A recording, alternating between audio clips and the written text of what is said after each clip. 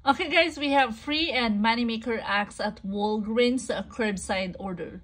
So these are $5 each and if you buy three, you will receive $5 Walgreens cash. We also have $4 on two and $2 on one digital coupon. After the digital coupon, you will pay $9. Yes, you can use a Walgreens cash to pay. But then you will receive $5 Walgreens cash for buying three.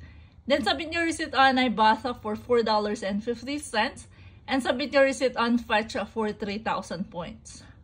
You need to make sure that you will receive a physical receipt for this transaction. Here's my receipt. As you can see, my dollar is $9, 10.05 including tax. So I just rolled $10 of Walgreens cash.